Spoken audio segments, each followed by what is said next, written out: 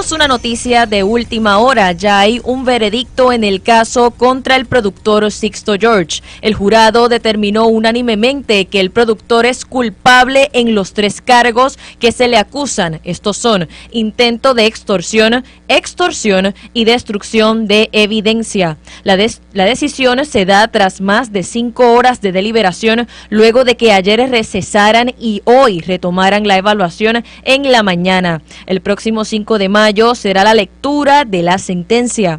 Este juicio federal tuvo una duración de nueve días y el jurado que tomó la determinación estuvo compuesto por siete mujeres y cinco hombres. Como recordarán, este caso se da como secuela de las controversias suscitadas tras el verano del 2019 con la revelación del chat de Telegram que provocó la renuncia del ex gobernador novo progresista Ricardo Rosselló.